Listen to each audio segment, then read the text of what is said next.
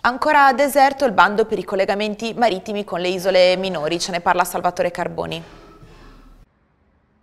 Ancora una volta nessuna compagnia si è fatta avanti per il bando di concessione del servizio pubblico di trasporto marittimo tra la Sardegna e le isole minori di La Maddalena e San Pietro e il quarto tentativo fallito dal 2022. A comunicarlo è stata l'assessore regionale dei trasporti Barbara Manca che ha espresso preoccupazione per la situazione del mercato marittimo degli ultimi anni. Non è una novità, ha dichiarato l'assessore, ma il servizio sarà comunque garantito senza interruzioni, anche se la scadenza dell'attuale contratto è prevista per il 31 dicembre 2024. Nonostante le ingenti risorse risorse stanziate pari a oltre 26 milioni di euro per ogni anno di servizio e gli sforzi per attrarre operatori anche dall'estero, il bando è andato nuovamente deserto. L'assessore ha sottolineato che le difficoltà del settore marittimo sono evidenti e che servono soluzioni condivise a livello nazionale. Tra queste l'intenzione di coinvolgere altre regioni come Toscana, Sicilia, Lazio e Campania che affrontano sfide simili. La mancanza di collegamenti regolari potrebbe avere pesanti ricadute sulla vita quotidiana e sulle economie locali delle isole, compromettendo inoltre la mobilità dei residenti. La regione Sardegna ha anche intenzione di confrontarsi con l'autorità di regolazione dei trasporti